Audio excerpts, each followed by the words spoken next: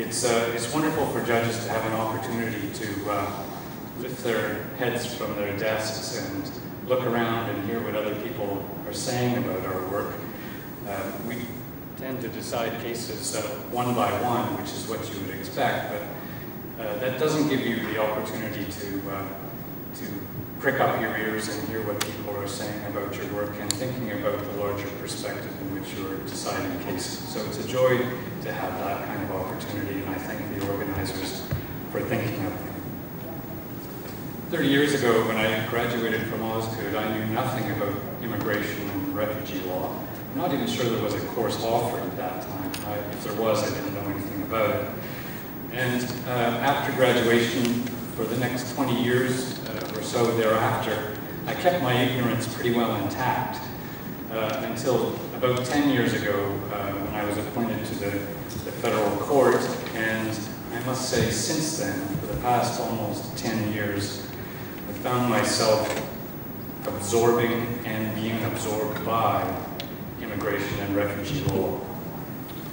But before my appointment as uh, Dean Sawson uh, pointed out, I, I had some experience in criminal law, especially criminal law reform, working in areas all the way from police powers, criminal procedure, the laws of evidence, the general part of the criminal code, general principles of liability, sentencing, and so on.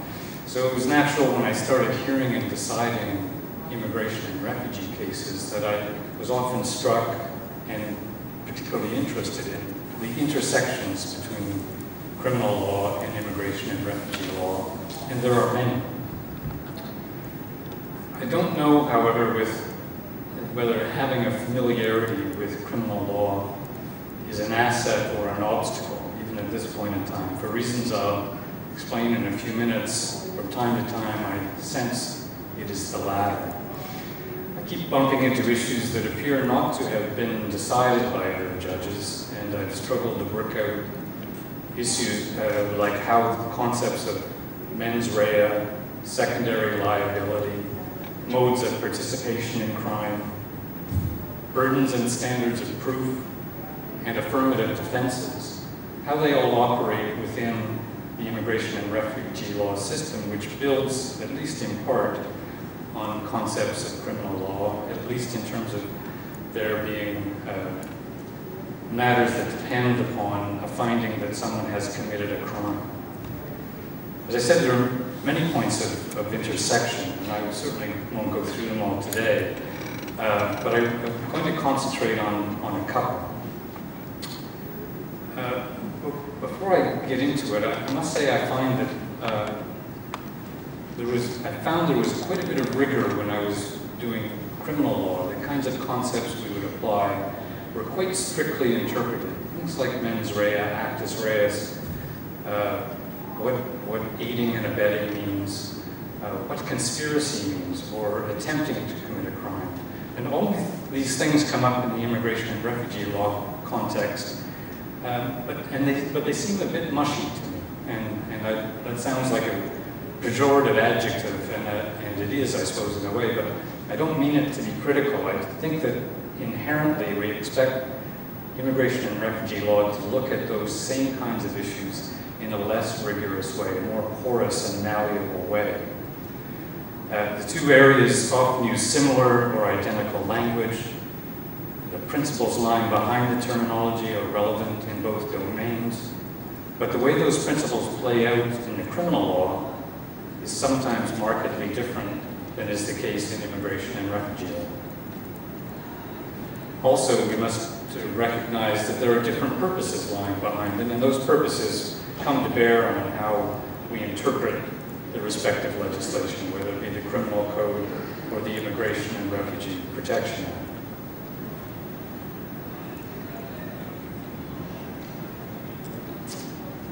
I'd like very much to explore many of these areas of intersection, but I can't do that today. I'll leave that for another day, another forum more pro properly in writing than in a public address, probably. Uh, so I'm just going to address a, a couple of topics. Uh, and those relate mainly to the concept of exclusion from refugee protection and the concept of inadmissibility to Canada. I'll lay out some of the, uh, the jurisprudence on these subjects and show how courts have shaped them by often giving broad, but sometimes narrow, interpretations of the key terms. I will illustrate this with some examples from my own judgments. Then I'll conclude with some observations about the extent to which the pr principles of the criminal law might apply in the immigration and refugee context. A few uh, instructive words before I begin. There is a general consensus in the judiciary that judges should not talk about their own judgments in public. And there's a very sensible reason for that. The law is what judges say it is in their written work, in their written judgments. The law is not what judges say they said in their written work when they give a public address. So imagine it's difficult enough we get lawyers presenting us with a vast array of jurisprudence in the immigration area just from the written judgments of, of judges. Imagine if we had also to consider what judges said out of court about those subjects. So there's a, a good reason why ju judges are reticent to speak in public about their own decisions. However, there's a little bit of leeway in this rule, and I'm going to rely on the leeway today. When I was uh, executive legal officer at the Supreme Court of Canada, uh, I often accompanied uh, Chief Justice Antonio Lamer when he addressed uh, law school classes, whether in Canada or abroad. he believed that judges could discuss their own judgments in a didactic setting like this, where judges are exercising their responsibility to inform students about the Canadian legal system in general and what it is that judges do. So in that spirit, I'm going to talk a little bit about my own judgments, but I instruct you find the law in my written decisions, not in what I say to you today. Better still, look at the decisions of the Court of Appeal or, or even judges, uh, decisions of judges, uh, of some, some of my colleagues. Two areas, as I mentioned, I'll use as examples are rules of exclusion from refugee protection and inadmissibility. The term exclusion applies only to refugee status. Persons who are excluded will not be granted refugee status even if they meet the definition of a refugee. That is, if they have a well-founded fear of persecution in their country of origin. Article 1 of the Refugee Convention of 1951, which is incorporated into our domestic legislation, states that persons are excluded from refugee status if they've committed a crime against peace, a war crime, or a crime against humanity, a serious non-political crime, or acts contrary to the purposes and principles of the United Nations. Excluded claimants will not receive refugee protection, and if they have no other means of gaining status in Canada, they will generally be removed and will have to seek authorization to return.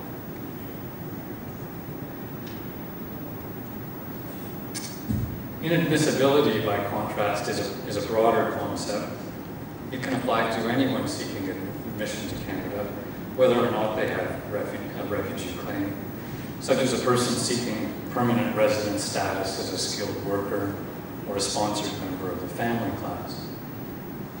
The grounds of admissibility include a variety of security concerns, engaging in terrorism, committing acts of violence, or being a member of a group engaged in any of those kinds of conduct. But it also extends to international rights violations and serious forms of organized criminality. Persons who are inadmissible cannot obtain permanent resident status and will be subject to removal. Here's the first area of intersection between criminal law and immigration and refugee law that I'd like to discuss with you, and it relates to exclusion. Remember, persons are excluded if they have committed, that's the language that's used, committed various kinds of crime. Crime against peace, a war crime, crime against humanity, serious non-political crime. It is clear from the word commit that the actual perpetrators of these crimes are excluded. But who else? In the criminal law, we have rules of liability that, that extend to secondary parties. aiders and abettors, persons pursuing a common purpose, counselors, accessories, and so on, as well as those uh, to those who commit incomplete versions of the complete crime, that is, those who conspire to, to commit crimes or who attempt to commit crimes. The question is, are these various categories, modes of participation, other kinds of criminal liability included within the concept of committing a crime within the rules of exclusion in the Refugee Protection In fact, the word committed has, in this context has been interpreted as including actual perpetrators of crimes, no surprise, but also those who are complicit in those crimes. Uh, but this is only a partial answer because that just takes us uh, to the word complicit to see if that tells us who else is included.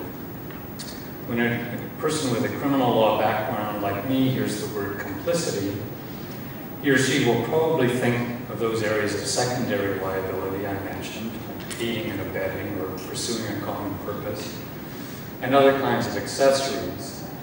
Uh, he or she might wonder whether it, extends as far as the inchoate offenses or incomplete crimes such as conspiracy or attempts, but that would be a matter for discussion. In fact, Justice Gilles Letourneau, who's a former colleague of mine at the Law Reform Commission of Canada, we used to do criminal law reform together. He's now a judge on the Federal Court of Appeal, has held that complicity in this context only includes modes of participation, that is aiding and abetting and so on, but not complete crime. This approach appears to suggest, for example, that someone who conspired to commit a war crime but did not actually commit it would not be excluded while someone who aided and abetted such a crime might be excluded. It's obviously worth considering whether the exclusion clauses were intended to be interpreted that way, and in particular whether it makes sense that a person who aids and abets a war crime, for example, should be excluded from refugee protection, while another person who conspired to carry one out should not. In other words, would a fairly narrow concept of complicity taken from the criminal law really serve us well the immigration and refugee context.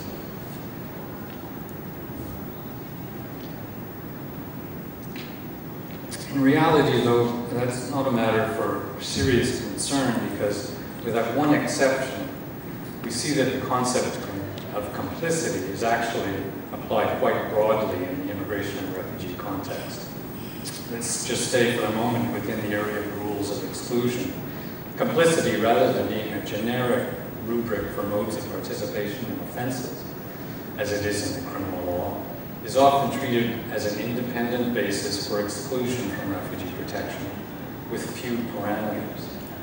Case law tells us that complicity means personal and knowing participation in an offense. This looks like what we would think of in the criminal law as a mens rea and actus reus, participation being the, the act knowledge of the consequences being the mental element. But this duality of concepts that's so familiar to us in the criminal law and forms one of the most fundamental principles of the criminal law is not applied in the immigration and refugee context in the same way at all. Let me summarize briefly what the case law says about this. The cases tell us that complicity can take two forms. The first involves the actual furthering of international crimes by the claimant. This would include parties to offenses. The second, however, involves what is referred to as complicity by association. Complicity by association simply means that individuals may be rendered responsible for the acts of others because of their close association with the principal actors. Given that broad meaning, the requirements of knowledge and actual participation seems to be a secondary concern. This becomes even clearer when we look at cases dealing with membership in a group responsible for crimes. And I'm going to spend a minute going through these cases because they raise an, an important issue and a difficult matter of interpretation, I think, in our immigration and refugee law. The concept of membership in a criminal organization is problematic membership is a concept that's not used in the criminal law, so we can't have resort to the criminal law for that. Criminal law actually uses terms like knowledge, participation, and contribution, which, as I said a minute ago, was where immigration and refugee law started out looking at issues of complicity. Before immigration and refugee law started to drift into other concepts of criminal li liability for crimes. Starting from that idea that complicity connotes knowing participation, the general rule in Canadian case law is that mere membership in an organization that commits crimes that would be caught by the exclusion clauses does not justify that person's exclusion from refugee protection. But there's an exception to that rule that, that arose in uh, a Canadian case called Ramirez. And the exception applies where the organization in issue is one that has a limited brutal purpose. For that kind of organization, proof of membership may be sufficient to find the person was complicit in the crimes carried out by the organization and the person would be excluded from refugee protection. In this case, membership in the group creates a rebuttable presumption which may result in a finding of complicity in the absence of any other evidence other than membership. Complicity can be presumed in that situation on the basis of the strong likelihood that the person must have known about the group's objects and that his or her involvement furthered the group's aims.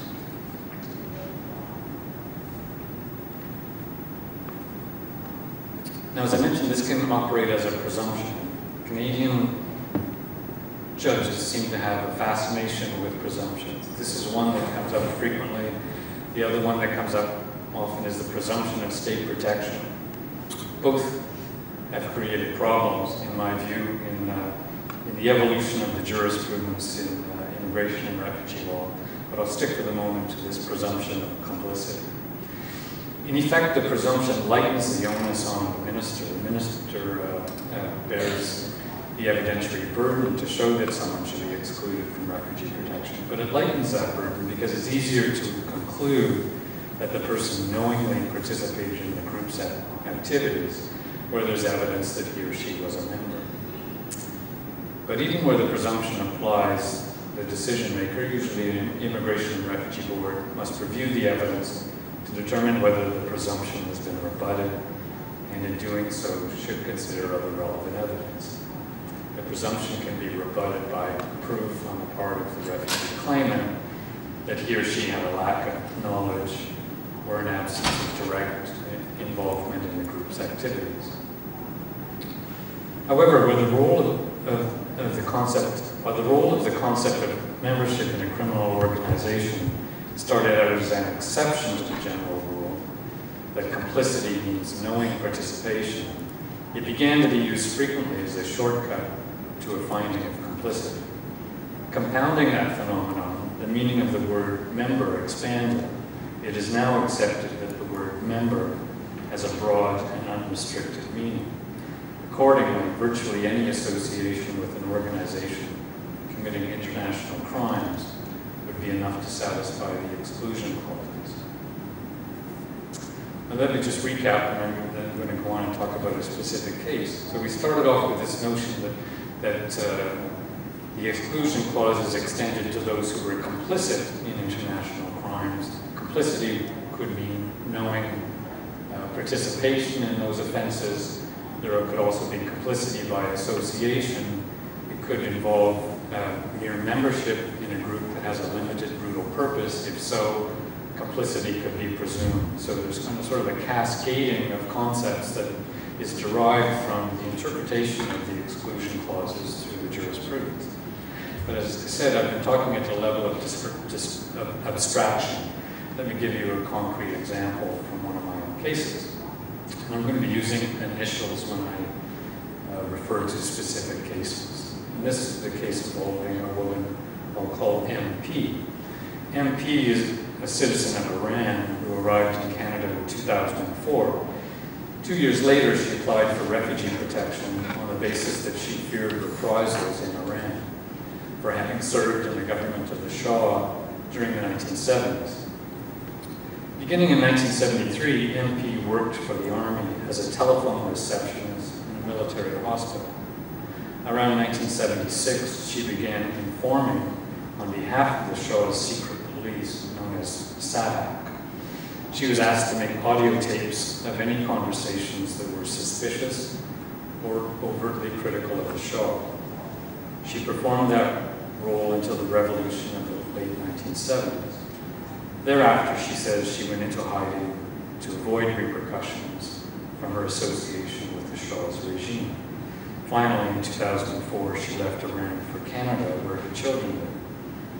The minister, excuse me, the Minister of Public Safety Emergency Preparedness, excuse me, opposed MP's application, arguing that she was excluded from refugee protection based on serious reasons for considering that she had committed a crime against humanity. The Immigration and Refugee Board agreed. Before the board, MP conceded that SAVAK had been involved in crimes against humanity. It was well known at the time. The board went on to consider whether MP had been complicit in those crimes. There was no allegation that she had been directly involved in any way. The board defined complicity as involving a common purpose of personal and knowing participation, as I, I referred to the definition before. However, as we've seen when the organization's main objective is to commit crimes against humanity, or it exists to achieve a limited brutal purpose, mere membership in the organization raises a presumption of complicity. Here the board found that MP was presumed to be complicit in SAVAK's crimes. The board then considered whether MP could rebut that presumption. It concluded that her conduct and association with SAVAK did not displace the presumption of complicity. She was therefore excluded from refugee protection. The case came to me by way of judicial review.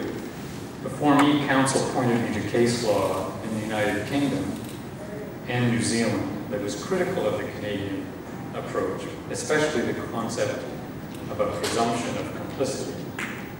Instead, the rules of individual liability in the Rome Statute of the Criminal Court should be considered, according to which a person should be considered liable for a crime he or she orders, solicits, or induce, induces the commission of such a crime, aids, abets, or otherwise assists in its commission, or in any other way contributes to the commission or attempted commission of such a crime by a group of purpose, persons acting with a common purpose. So it was taken to case law from other jurisdictions that said we should be more careful about who we're capturing by these exclusion clauses.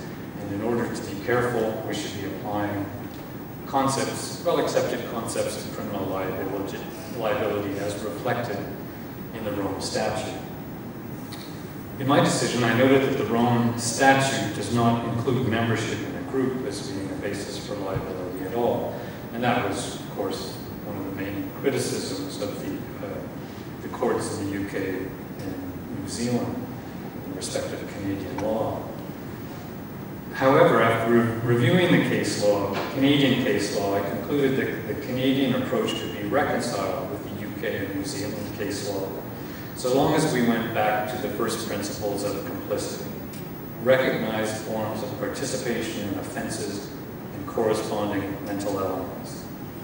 While I was invited to do so, I did not have to conclude that the presumption of complicity based on membership in a criminal group should be abolished, since, as it was originally intended, it was only meant to be a very narrow exception to the general rules of complicity that did not contradict the rules set out in the Rome Statute in any case. However, I allowed the judicial review in order to a new hearing because after all of the analysis, the board relied on the presumption of complicity in MP's case, but never actually decided that she was a member of SAVAK. It applied that presumption that flows from a finding of membership, but it never made that finding. So it seemed to me if it was, if there was going to be any reliance on a presumption of that nature, you had to at least make a finding that the preliminary facts on which the presumption is based would apply. What does this tell us? I think it tells us there's some merit in at least keeping an eye on principles of criminal law when we're applying related concepts in the context of immigration and refugee law. The jurisprudence on, on exclusion has, by times, applied similar principles, but it has also drifted away from them with concepts of complicity by association and a presumption of complicity based on membership in certain kinds of groups.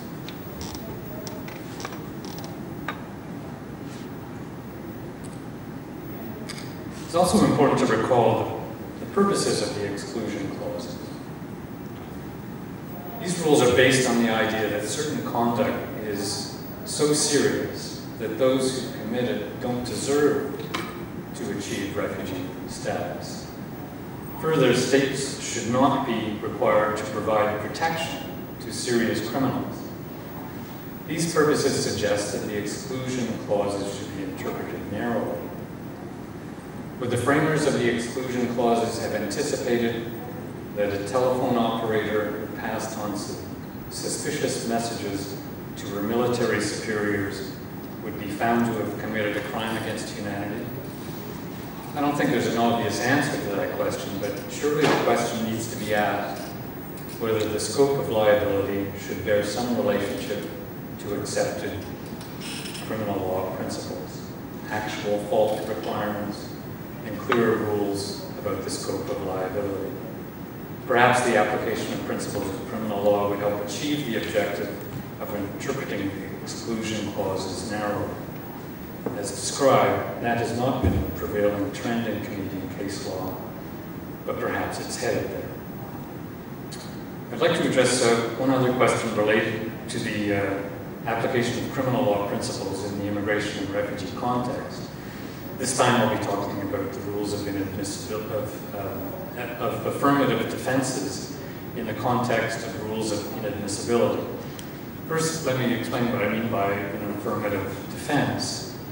With respect to provisions in the Immigration and Refugee Protection Act relying on evidence of commission of crimes, this would be the case for both exclusion and inadmissibility evidence showing that the person lacked the requisite mental element or failed to carry out the prohibited act would obviously negate the conclusion that he or she committed a crime.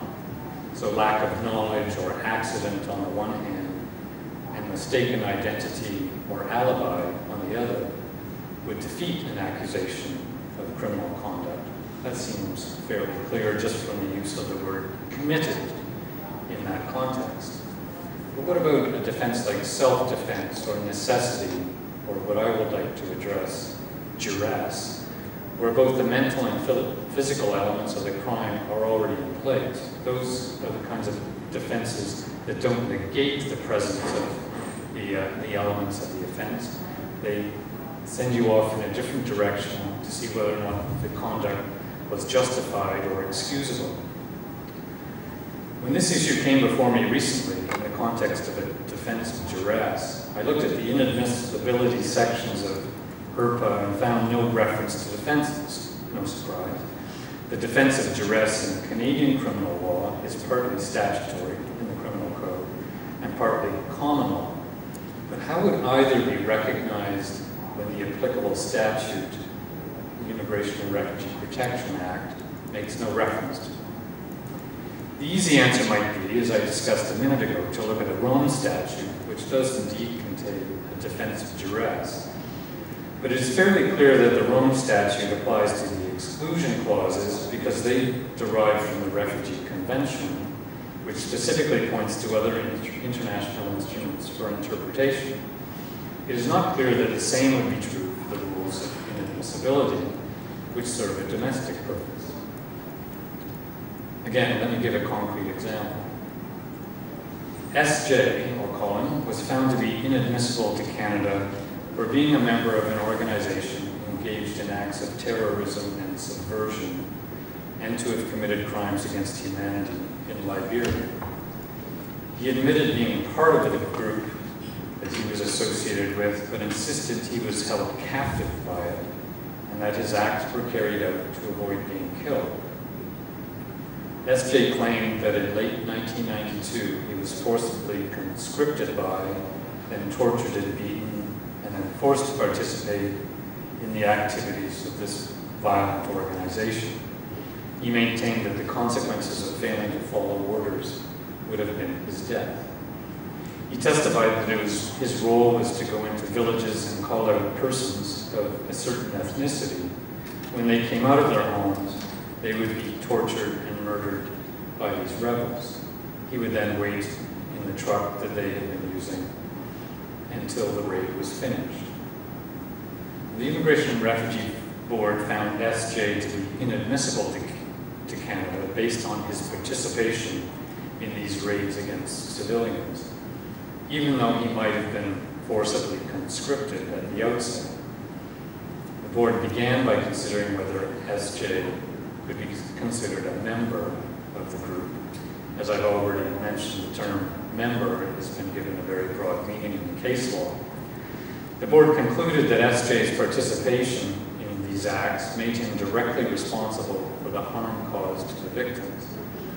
Given his lengthy and extensive involvement in the raids, their violent nature, his lack of effort to distance himself from the group, and his failure to take steps to protect the victims, the board found SJ fell within the broad definition of a member and found him complicit in the activities of the organization. The board then considered the defense of duress. It accepted the documentary evidence showing that the group had forcibly conscripted individuals, but it did not believe SJ's assertion that he was continuously held captive and had no chance to escape. Accordingly, the requirements for the defense of duress were not present. In the end, the board found SJ to be inadmissible to Canada as a member of that group. SJ sought judicial review before me, and I have to say I struggled quite a long time with the question of how the defense of duress related to the concept of liability for crimes under IRPA, and more especially, how it relates to the concept of membership in a group. I found it difficult to conceive of a situation where a person could be considered a member of the group and at the same time mount a successful defense of duress. In this case, the board proceeded on the assumption that the two issues were entirely separate. It first found SJ to be a member of the group and then considered whether the defense of duress had been made out. However, it seemed to me that the two issues had to be considered together. Seemed to be an artificial exercise to me to first determine whether the person was a member of a criminal group and then consider whether the person acted under duress. It seems incongruous that a person could be a genuine member of the group when his or her involvement with it was based on coercion. In looking at the case law on this question, and there wasn't much, I found some support for the notion that membership has a mens rea component. Was surprising to me because, uh, as I said, membership doesn't have uh, much use in the criminal law, but surprisingly, in an immigration case, I found reference to this concept of mens rea being part of the term membership in the immigration context. This mens rea of membership could be defeated by evidence of duress. To me, this was a novel way of looking at membership, and it doesn't accord with our general understanding of how duress works in the criminal law. As I said, in criminal, in criminal law, duress doesn't defeat a mens rea, it's an affirmative defense. Yet I found this approach appealing because it corresponded with my own instinct that it required consideration of the evidence of membership alongside the evidence of coercion. Question to be asked was whether the membership was truly genuine. It couldn't be genuine if it was forced. In any case, however, while I found the board's analysis of the issues to be confusing, I concluded there was no reviewable error. The evidence before the board was that SJ did have a safe avenue of escape on a couple of occasions, which meant that the necessary elements of the defense of duress were not present. I therefore dismissed the application for judicial review. These are just two examples of areas where the principles of liability under the criminal law have presented themselves in the immigration and refugee law context, there are many others. The questions to be asked are these. Do the criminal law principles apply? If so, do they apply in the same way? If not, is there anything to be learned from how they apply in a criminal law context? To what extent are the purposes of the criminal law and of immigration and refugee law similar or different in respect to the particular issue you're considering? Does that help us decide the scope of the exclusion and inadmissibility rules in particular? And more specifically, should the rules of liability in the Rome statute be the default position?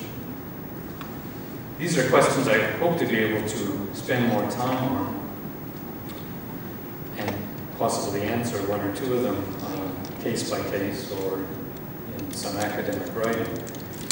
Uh, but I can't answer them today, but I present them for your consideration.